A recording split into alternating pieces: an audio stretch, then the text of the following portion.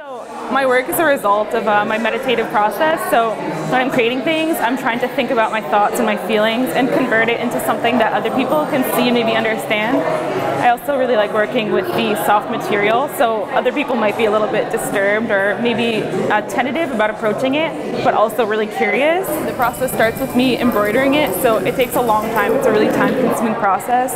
The pieces take over 100 hours each.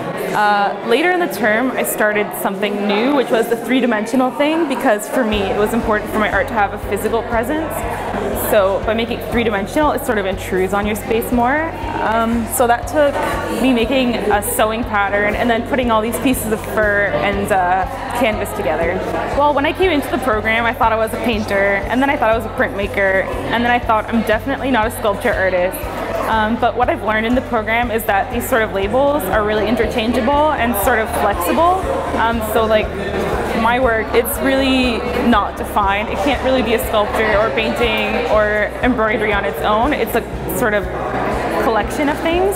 And so I think it's really important not to limit yourself in that way. Don't be afraid to try something new. Don't be afraid to just experiment and really just keep with keep with what you feel is right don't be worried about what others might think. Don't be worried about failing because really like the time to experiment is now and you know, just work with it.